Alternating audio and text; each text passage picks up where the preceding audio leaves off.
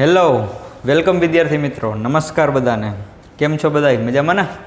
તો વાંધો ને, મોજમાં રહેજો. તો અત્યાર સુધી આપણે લોકોએ શું કરી ગયા?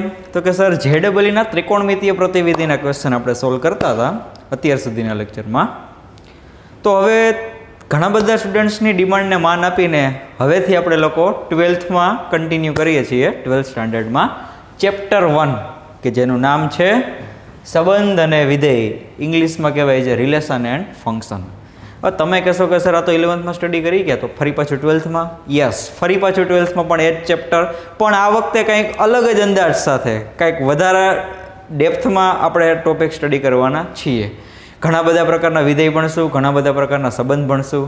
ડન તો આજે મારે તમને વધારે કંઈ નથી કહેવું, પરંતુ ઇલેવન્થનો જે આપણો જે કોન્સેપ્ટ છે, સંબંધનો એ મારે આજે તમને રિવાઇઝ કરાવવો છે. તો નિરાતે બધા અહીંયા ધ્યાન આપશે. બરાબર? આખો વીડિયો કમ્પ્લીટ જોવો. કોઈ પણ જાતની ક્વેરી હોય તો પાછા પૂછી લેજો.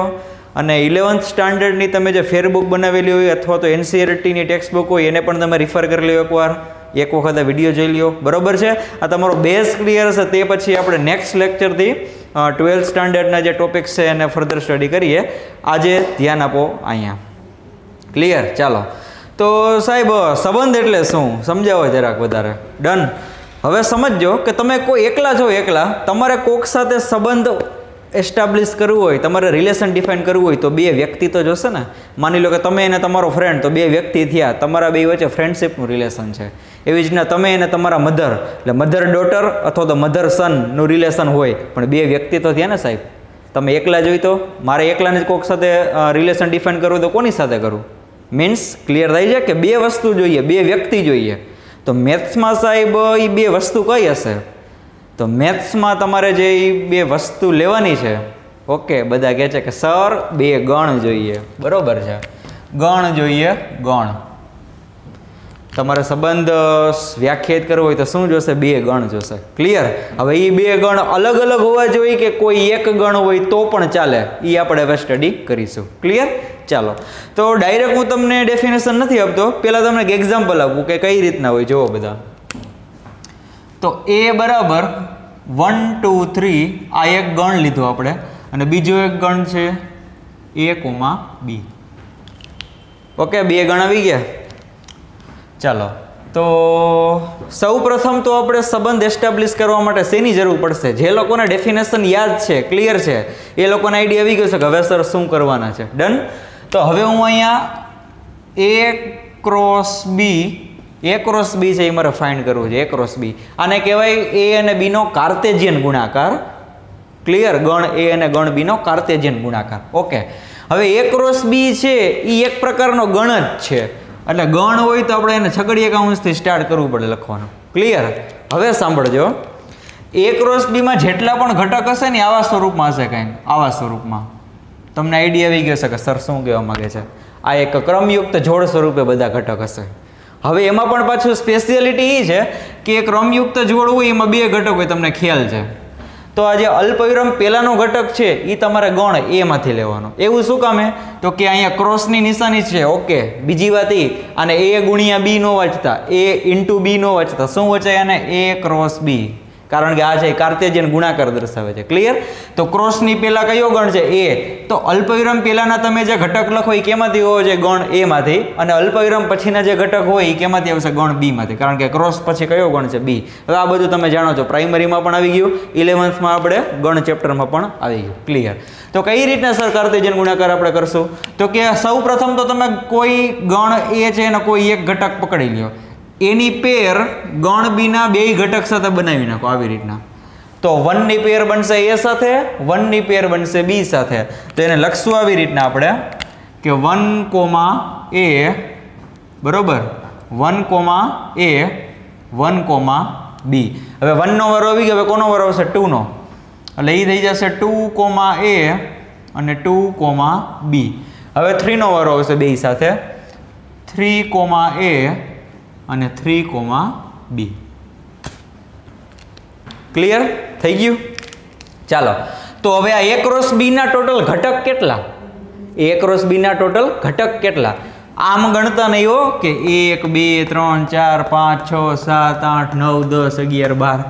એમ નથી. એ વાત ખોટી છે સાહેબ. આ આખે આખી જે ક્રમયુક્ત જોડ છે ને એ ભેગી થઈને એક ઘટક બનાવે. આ બીજી ક્રમયુક્ત જોડ ભેગી થઈને એક બીજો ઘટક બનાવે. તો હવે ક્રમયુક્ત જોડ ગણો. કારણ કે એક ક્રોસ બીનો ઘટક એટલે શું થાય? એક ક્રોસ બીમાં બધા જ ઘટક છે કયા સ્વરૂપે હશે? આવીને જોડ સ્વરૂપે હશે. એટલે આ પહેલી જોડ, આ બીજી, આ ત્રીજી, ચોથી, પાંચમી અને છઠ્ઠી છ ક્રમયુક્ત જોડ છે. એક ક્રોસ બીમાં છ ક્રમયુક્ત જોડ. તો એનો મતલબ શું થયો? એક ક્રોસ બીમાં કેટલા ઘટક છે? છ ઘટક. તો હવે વિચાર કરો, જે મારે ઘટકોની સંખ્યા દર્શાવી હોય તો હું કઈ રીતના દર્શાવતો હતો? તો કે, સર, આવું કરવાનું હોય એને લખાય આવી રીતના number of A cross B અને શું વચાય? નંબર ઓફ એટલે કે એ ક્રોસ બીના ઘટકોની સંખ્યા. કેટલા ઘટક છે? તો કે છ ઘટક છે. ક્લિયર ચાલો, છ ઘટક. ઓકે પણ એ છ ને હું આવી રીતના લખી શકું આમ? ત્રણ ગુણ્યા બે. અહીંયા ગુણ્યા લખ્યો છે થ્રી ઇન્ટુ ટુ પણ હવે જોવો છે ત્રણ એટલે હું નંબર ઓફ એ લખી શકું? નંબર ઓફ એ શું કામે આને હું વચાય? એના ઘટકોની સંખ્યા. મેં કોના બરાબર લખ્યું તો કે ત્રણ બરોબર? તો ચેક કરો તો એમાં ત્રણ ઘટક હતા તો કે, હા સર એમાં ત્રણ ઘટક છે. હવે બે બરાબર હું શું લખું છું? નંબર ઓફ બી એનો મતલબ કે બીના ઘટકોની સંખ્યા કેટલી છે? બે. ચેક કરો જોઈ. તો કે યસ સર તો આમ ફાઇનલ તમને મળ્યું શું? Number of A cross B is equal to number of A into number of B clear છે બધાને? આ ફોર્મ્યુલા આપણે સ્ટડી કરી ગયા. તેમ છતાં પણ મેં રિવાઇઝ કરાવી દીધું. ડન હવે સાંભળજો. હવે અહીંથી આપણે સંબંધને ઇન્ટ્રોડ્યુસ કરીએ. જોજો, આ એ ક્રોસ બી તમારી સામે છે. તો એ ક્રોસ બીનો કોઈ પણ ઉપગણ એ ક્રોસ બીનો કોઈ પણ ઉપગણ, એને શું કહેવાય? સંબંધ કહેવાય. ક્લિયર તો ચાલો, હવે હું તમને સંબંધની વ્યાખ્યા લખાવી દઉં.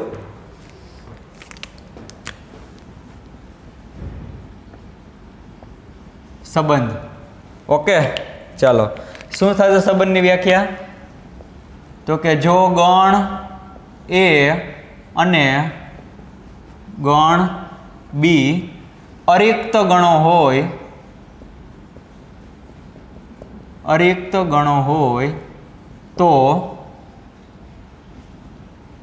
એ ક્રોસ બીના કોઈ પણ ઉપગણને એ ક્રોસ બીના કોઈ પણ ઉપગણને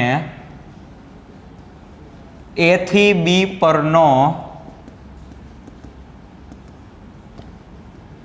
સંબંધ કહે છે.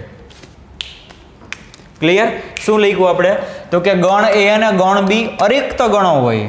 હવે સર ક્વેશ્ચન એ થાય, અરિક્ત. કાંઈ ક્વેશ્ચન નથી, સાહેબ. ઇલેવન્થમાં આપણે સ્ટડી કરી ગયા. રિક્ત એટલે ખાલી હોય તેવો. અરિક્ત એટલે ખાલી ન હોય તેવો.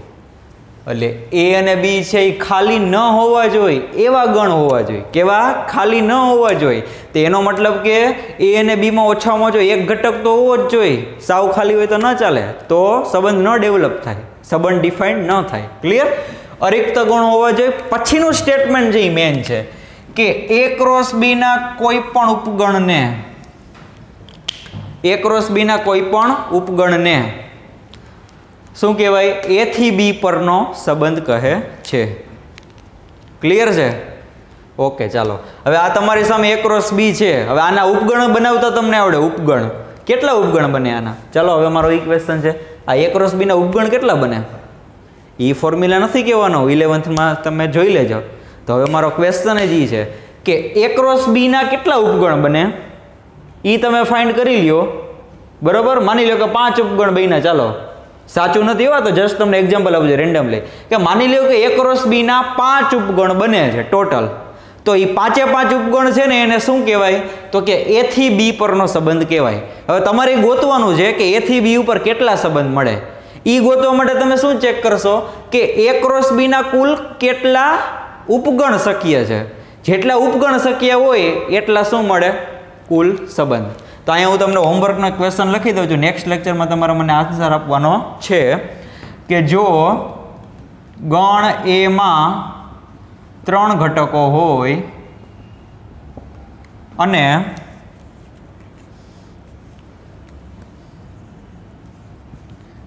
ગણ બીમાં બે ઘટકો હોય તો એથી બી પર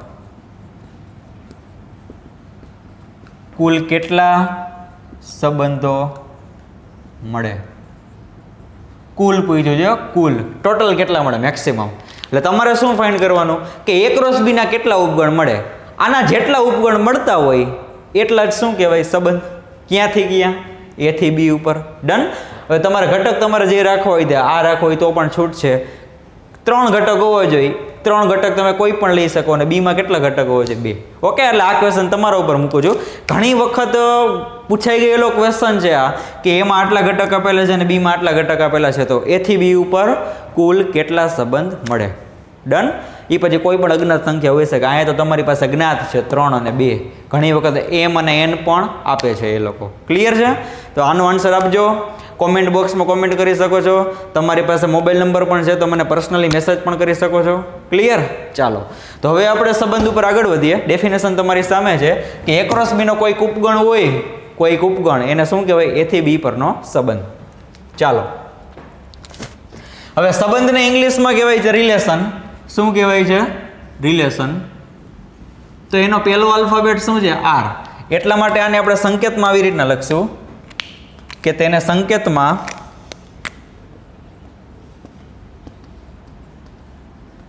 તેને સંકેતમાં વડે દર્શાવાય છે. હવે આને રીડ કઈ રીતના કરશું? આને પ્રોનાઉન્સિએશન કઈ રીતના કરશું આનું? તમને ખ્યાલ છે. આને વચ્ચે relation relation R from A to B કે એથી બી પરનો સંબંધ. ક્લિયર છે? ચાલો. હવે તમે સાંભળજો કે સંબંધ છે એ એ ક્રોસ બીનો કોઈક ઉપગણ છે? તો એનો મતલબ કે સંબંધમાં જે ઘટક હશે એવી રીતના બધે ક્રમયુક્ત જોડ સ્વરૂપે હશે. ક્લિયર સંબંધ જે છે સંબંધ, એમાં બધા ઘટકો છે એ આવી રીતના ક્રમયુક્ત જોડ સ્વરૂપે હશે ને? ક્યારેય સંબંધમાં આવી રીતના ન બન્યું સાહેબ? કે આર બરોબર વન ટુ અને ફાઇવ આ સંબંધ નથી, આ કોઈ એક આર નામનો ગણ છે અને સંબંધ ન કહી શકાય. શું કામે? તો કે સંબંધમાં ઘટક છે એ આવી રીતના જ આપેલો હશે, ક્રમયુક્ત જોડ સ્વરૂપે. આ યાદ રાખી લ્યો એક. ક્લિયર ચાલો. તો હવે હું એમ લખું છું કે જો એક્સ એ વાય સાથે સંબંધ ધરાવતો હોય તો તેને સંકેતમાં, તો તેને સંકેતમાં બે રીતના દર્શાવી શકાય. આવી રીતના એક છે એક્સ પછી સંબંધનો રિલેશન રિલેશન એટલે કે આર અહીંયા લખવાનું અને પછી નીચે વાય લખવાના. એક્સ આવી રીતના આર પછી થોડોક મોટો કરવાનો અને વાય પાછો આવી રીતના નીચે. અથવા તો આવી રીતના પણ લખી શકાય. X Y belongs to R વડે દર્શાવાય છે.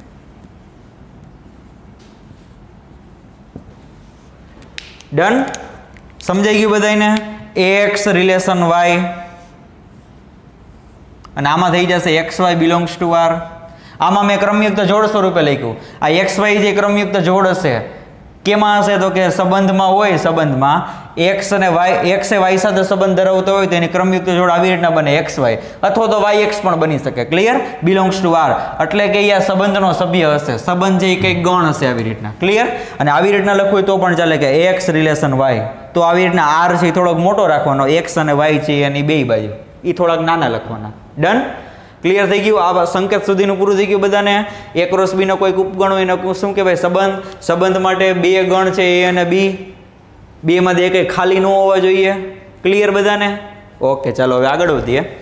તમે લોકો આ તમારે એક્ઝામ્પલ લખવું હોય તો નોટ ડાઉન કરી શકો, પણ આ ક્વેશ્ચન ખાસ લખી નાખજો હોમવર્કનો અને હવે આજે મેં ડેફિનેશન લખેલી છે લેફ્ટ સાઈડ આ બધું ડિસ્ક્રિપ્શન એ તમે વ્યવસ્થિત એક ફેર બુકમાં બનાવજો, કારણ કે આ ચેપ્ટરમાં જે ડિસ્ક્રિપ્શન છે હાઉ ટુ રિપ્રેઝન્ટ તમે કઈ રીતના રિપ્રેઝન્ટ કરો છો એ મેઇન છે. કારણ કે આખું થિયોરેટિકલ ચેપ્ટર છે એટલા માટે. ક્લિયર આની મારે ફેરબુક જે બહુ મસ્ત મજાની જોશે બધા. વ્યવસ્થિત લખી નાખજો. ઓકે, ચાલો લખી નાખો બધા. એવું લાગે તો વીડિયો સ્ટોપ કરી દો ઓકે, ચાલો હવે આગળ વધીએ. હવે તમારા મગજમાં એવું હશે કે સંબંધ વ્યાખ્યાયિત કરવા માટે બે ગણ જોઈ, એ અને બી. પણ એવું જરૂરી નથી કે એ બે ગણ અલગ અલગ જ હોય. હું કોઈ એક ગણ એ લખું પછી એમ કહું કે એ પર વ્યાખ્યાયિત સંબંધ આર છે. તો તમે એમ કહેશો કે સર, સંબંધ આપેલો છે આર, પણ ગણ તો એક જ છે ને એ. એક ગણ ઉપર પણ સંબંધ વ્યાખ્યાયિત કરી શકાય. કેવી રીતના? તો ભાઈ, એ ઉપર વ્યાખ્યાયિત સંબંધ એક આર છે, આર. તો એનો મતલબ કે આર એ કોનો ઉપગણ હશે? તો કે એ ક્રોસ પછી તમારા મગજમાં ક્વેશ્ચન હશે કે સર અહીંયા તો બીજો ગણ બી હતો તો અમે એ ક્રોસ બી લખતા હતા કે એ ક્રોસ બીનો કોઈક ઉપગણ હોય. પણ અહીંયા તો એક જ ગણ છે એ તો સાહેબ, કોઈ પણ ગણ એ છે, એનો પોતાનીના પોતાની સાથે કાર્તેજન ગુણાકાર થઈ તો શકે ને? ગણ એ છે, એનો એની ને એની સાથે કાર્તેજન ગુણાકાર થાય કે ન થાય? થાય જ ને. તો અહીંયા આર છે, કોનો ઉપગણ હશે? તો કે એ ક્રોસ એનો ઉપગણ છે. સમજાણું? એટલે આવી રીતના હવે મગજમાં એક વાત યાદ રાખી લ્યો કે સંબંધ વ્યાખ્યાયિત કરવા માટે બે ગણ જોઈ, બે ગણ. એ વાત સાચી, પણ એ બે ગણ છે એ અલગ અલગ ન હોય તો પણ ચાલે. બે ગણ કેવા હોય? સરખા હોય તો પણ સંબંધ તો વ્યાખ્યાયિત થાય જ. અને આપણા આ જે ચેપ્ટર છે સ્વાધ્યાય એક, એમાં તો આપણે મોસ્ટ ઓફ કેસમાં એક જ ગણ રાખશું દર વખતે, એક જ ગણ. એનો એની ને એની સાથે શું લઈ લેવાનો? કાર્તેજન ગુણાકાર લઈ લેવાનો. દેટ્સ ઇટ વાત થઈ ગઈ પૂરી. કનેક્ટ થાય છે બધાને મગજ સાથે. એટલે હવે એવી મેન્ટાલિટી કાઢી નાખજો કે બે જુદા જુદા ગણ હોય. બે ગણ સમાન હોય તો પણ સંબંધો વ્યાખ્યાયિત થાય જ. એનો એની ને એની સાથે શું લઈ લેવાનો? કાર્તેજન ગુણાકાર. ક્લિયર છે બધાને? ચાલો. તો હવે આજે આપણે એક બીજી એક વ્યાખ્યા જોઈ.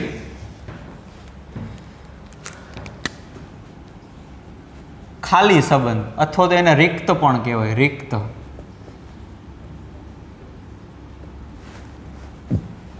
શું છે? ખાલી સંબંધ. ઇંગ્લિશમાં કહેવાય એમ્પટી રિલેશન એમ્પટી એમ્પટી એટલે ખાલી. આની વ્યાખ્યા શું છે સાહેબ? તો કે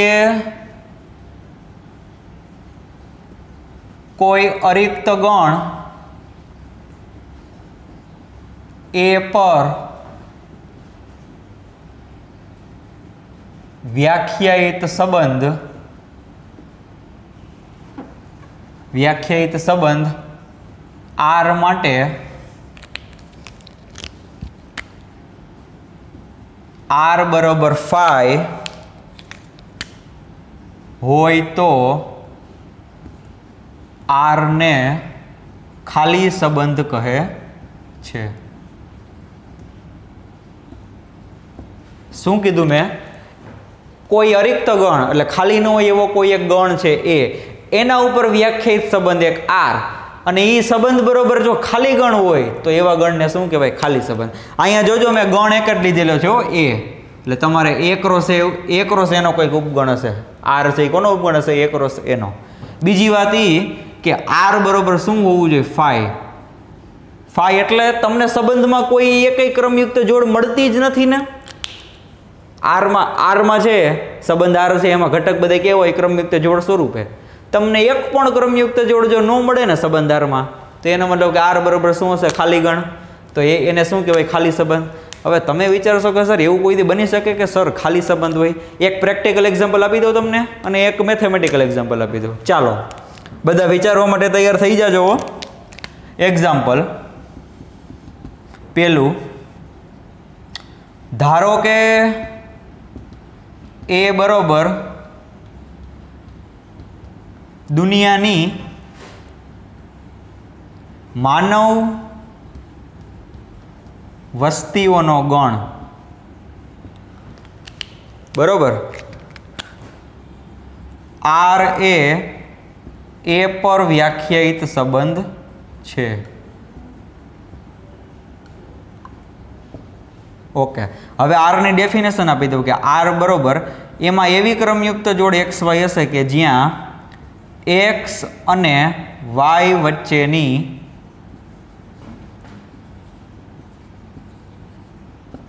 ઉંમરનો તફાવત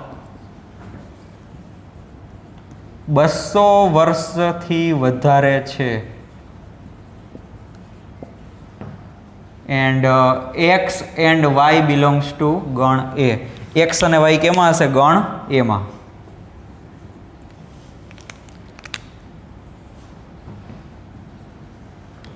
પહેલાં તો જુઓ ભાઈ આર જે કોના ઉપર વ્યાખ્યાયિત છે? ગણ એ ઉપર.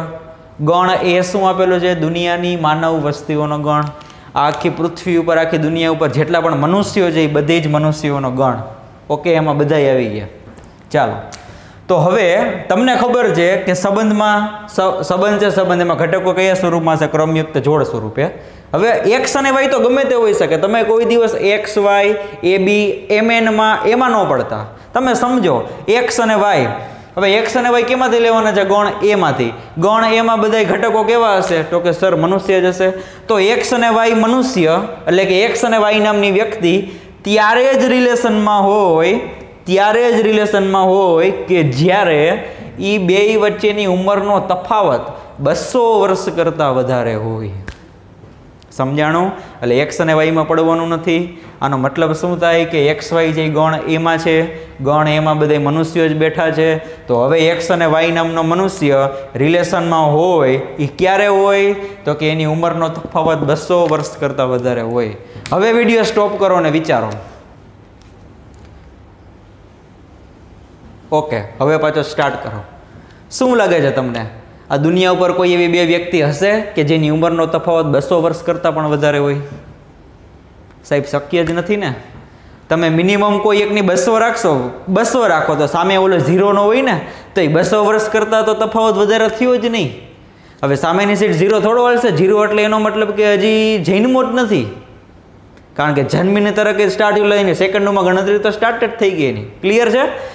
સમજાય છે બધાને. તમે પ્રેક્ટિકલ વિચારો યાર. પ્રેક્ટિકલ કે બે, હવે મિનિમમ આપણે અત્યારે સાયન્ટિફિક રિસર્ચ એવું કહે છે કે એવરેજ છે એ સેવન્ટી ટુ એટી હોય. હવે તમારે તો તફાવત છે બસો વર્ષ કરતાં વધારે કરવાનો છે. એટલે કોઈ એક વ્યક્તિ જે વિચારો તમારે એની ઉંમર કેવડી રાખવી પડે ને એવડી શક્ય નથી અત્યારે. નથી જીવી શકાતું એટલા વર્ષ દુનિયામાં. ક્લિયર છે? તો આ ગણ જે કેવો હશે? ખાલી ગણ. કારણ કે એવા એકેય કોઈ પણ બે વ્યક્તિ તમને એવા મળશે જ નહીં કે જેનો ઉંમરનો તફાવત કેટલો હોય બસો વર્ષ કરતાં વધારે. તો જો એવા તમને કોઈ બે વ્યક્તિ ન મળે, તો એ બે વ્યક્તિ કોઈ દિવસ અહીંયા સંબંધમાં હશે જ નહીં. તો એનો મતલબ કે આરમાં એક પણ ઘટક હશે નહીં. તો આ ખાલી સંબંધનું એક ઉદાહરણ થઈ ગયું. સમજાય છે બધાને? તેમ છતાં પણ જો કંઈ ક્વેરી હોય તો મને પૂછી શકો છો. ક્લિયર છે? બસો વર્ષ કરતાં વધારે થવો જોઈએ. તફાવત. બે વ્યક્તિ વચ્ચે બે વ્યક્તિના વર્ષ વચ્ચેનો તફાવત, ઉંમર વચ્ચેનો તફાવત. તો સર, તમે તો કહેશો કે આ તો પ્રેક્ટિકલ એક્ઝામ્પલ છે. ચાલો એક મેથેમેટિકલ આપી દઉં. બીજું એ બરાબર one two three four R A A પર વ્યાખ્યાયિત સંબંધ છે. આર બરાબર એવા એક્સ વાય કે જ્યાં માનાંકમાં એક્સ માઇનસ વાય બરોબર દસ અને X Y belongs to A. સમજો એક ગણ એ આપેલો છે કે જે શાંત ગણ છે, ઘટક આપેલા છે વન, ટુ, થ્રી અને ફોર. હવે એક રિલેશન આર છે એ ઉપર વ્યાખ્યાયિત છે. ઓકે. હવે એક્સ અને વાય વિચારો એક્સ અને વાય કેમાં છે? ગણ એમાં. ગણ એમાં બધી શું છે? કંઈક સંખ્યા છે. તો હવે તમે સમજો કે એક્સ અને વાય જે કંઈક સંખ્યા હશે.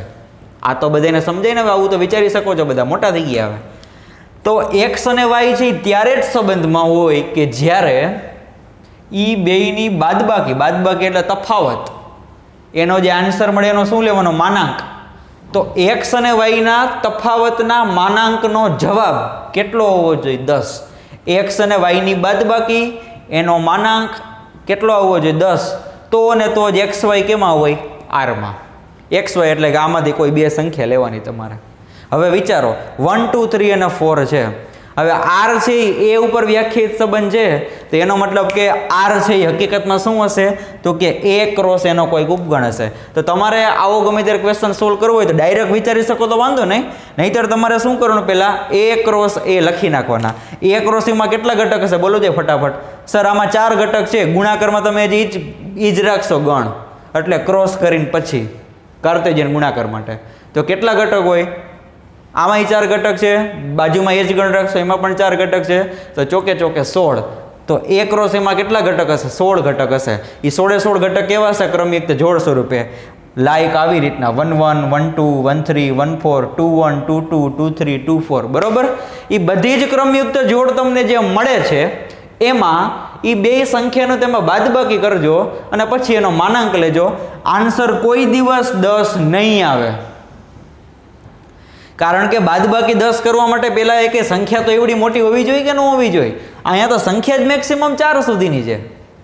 એટલે એક રોસ એમાં ભલે ને સોળ ઘટક હોય, પણ એ સોળ ઘટકમાંથી એક આરમાં તો નહીં જ આવે. શું કામે? કારણ કે બાદબાકીનો આન્સર કોઈ દિવસ દસ આવશે જ નહીં સાહેબ. આવશે વિચાર કરો, તમે જ વિચારજો. ઓકે? તો આ એક તમને મેથેમેટિકલ એક્ઝામ્પલ આપી દીધું. હું એમ નથી કહેતો કે બે જ એક્ઝામ્પલ આવા છે. આવા તો તમે પણ બનાવી શકો મોઢે. તમારા મગજમાં ઘણા બધા આવા એક્ઝામ્પલ આવી ગયા છે અત્યારે. તમે ઇમેજિન પણ કરો છો, સર, આ એક્ઝામ્પલ છે ખાલી સંબંધનું છે. પણ કોન્સેપ્ટ મગજમાં બેસો છે કે ખાલી સંબંધ. એવું પણ બની શકે છે ક્યારેક કે આરમાં એક પણ ઘટક આવતો નથી. તો આ બે સંબંધ છે, તમને ઉદાહરણ આપેલા કોના થઈ જશે સાહેબ? ખાલી સંબંધના. ઓકે? તો ખાલી સંબંધનું આખે આખું ડિસ્ક્રિપ્શન જઈ તમે લખી નાખો, કારણ કે હવે પછી હું આ છે ને આખું બધું રબ કરી નાખવાનું હજુ તો વીડિયો સ્ટોપ કરીને સ્ક્રીનશોટ પાડી લ્યો, લખી નાખો ફેરબુકમાં.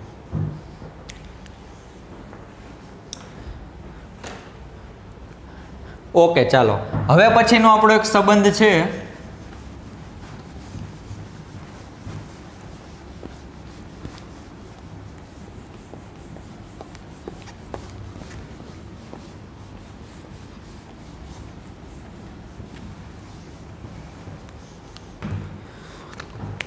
હવે પછીનો સંબંધ છે સાર્વત્રિક સંબંધ.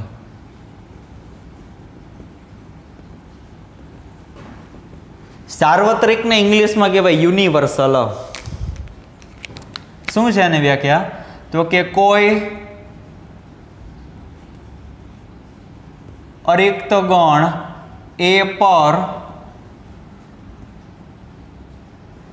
વ્યાખ્યાયિત સંબંધ આર માટે આર બરોબર એ ક્રોસ એ હોય તો આરને સાર્વત્રિક સંબંધ કહે છે.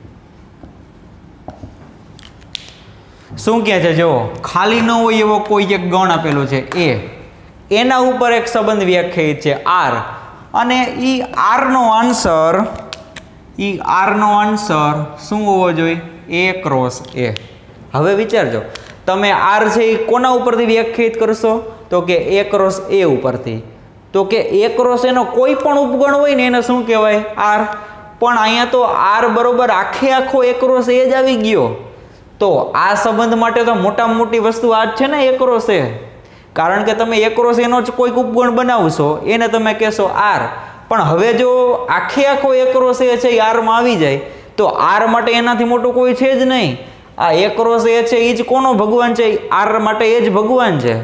આર માટે ભગવાન કોણ છે? એકરોસ છે. એનાથી મોટું એને ક્યાંય જવાનું જ નથી. એની એને જમ્પ મારીને બહાર ક્યાંય જઈ જ નહીં શકે. એટલા માટે એવા સંબંધને કીધો, સાર્વત્રિક સંબંધ. આરે એમ કીધું કે હવે હું ધરાઈ ગયો, બસ, મારા માટે મને ભગવાન મળી ગયા. આખે આખો એક રોષ છે, એ છે એ મારામાં આવી ગયો. એનાથી મોટો કોઈ છે જ નહીં. હવે સર, આવું બની શકે? કે તમે જે ગણ ઉપર સંબંધ વ્યાખ્યાયિત કરો છો, એનો આખે આખો કાર્તેજન ગુણાકાર છે, એ સંબંધમાં આવી જતો હોય. ચાલો એક એક્ઝામ્પલ આપું તમને. એક્ઝામ્પલ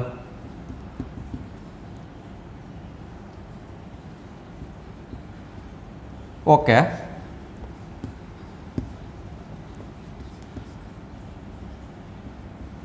વાસ્તવિક સંખ્યાઓના ગણ આર પર વ્યાખ્યાયિત સંબંધ એસ છે. અહીંયા મેં સંબંધનું નામ બદલાઈ નાખ્યું. કારણ કે ઓલરેડી ગણમાં કેપિટલ આર આવી ગયો છે. એટલા માટે હું સંબંધમાં શું રાખું છું? એસ ઓકે વ્યાખ્યાયિત સંબંધ એસ છે.